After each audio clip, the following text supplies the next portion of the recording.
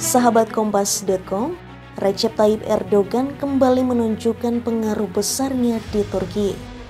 Erdogan dipastikan akan memimpin Turki selama lima tahun ke depan usai menang dalam pemilihan presiden yang digelar pada Minggu 28 Mei 2023. Untuk menggait pendukungnya, pemimpin Partai Keadilan dan Pembangunan itu kerap menyuarakan upaya persatuan. Tak jarang juga Erdogan membahas soal kelompok militan Kurdi yang kerap dicap sebagai kelompok teroris. Selain itu, Erdogan juga kerap mewanti-wanti masyarakatnya soal inflasi yang jadi masalah paling mendesak di Turki. Dengan dimenangkannya Pilpres 2023 ini, maka ini menjadi yang ketiga kalinya Erdogan terpilih menjadi presiden setelah dua dekade memerintah Turki.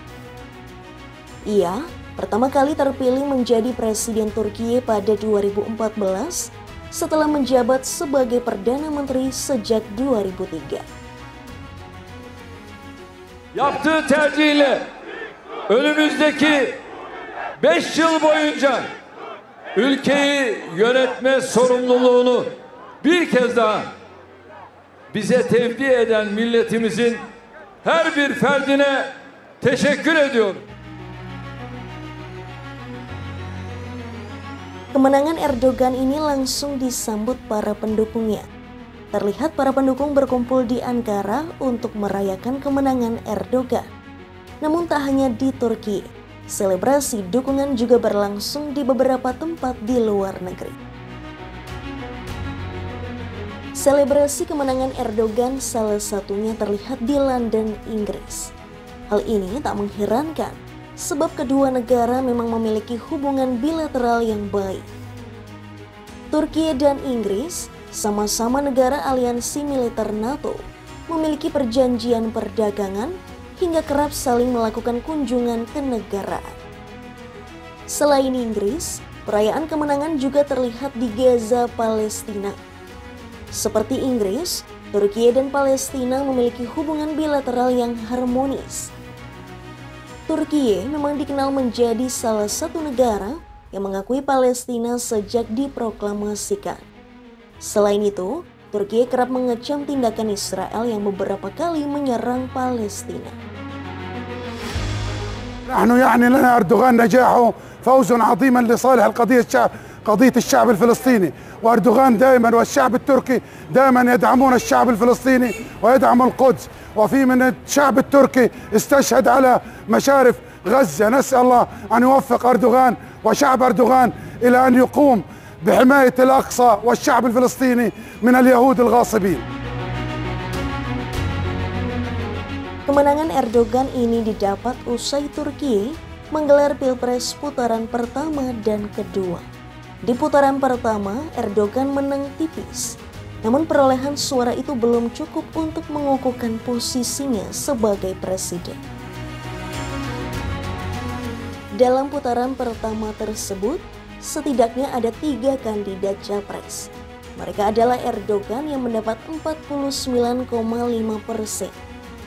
Kemudian pemimpin Partai Rakyat Republik sekaligus pemimpin oposisi Kemal Kilidaroglu yang mendapat 44,89 persen.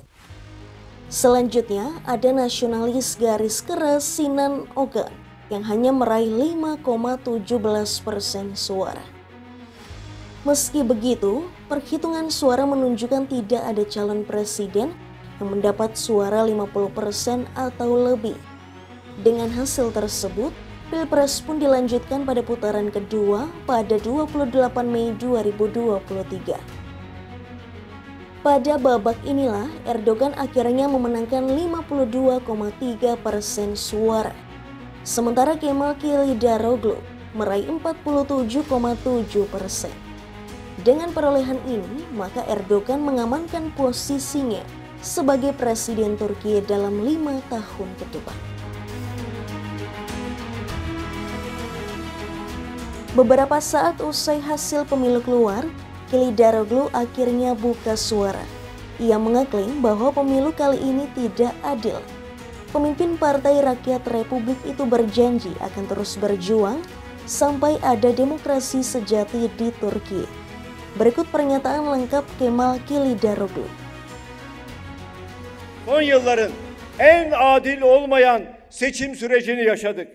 Devletin bütün imkanları bir siyasi partiye seferber edildi. Bir adamın ayakları altına serildi.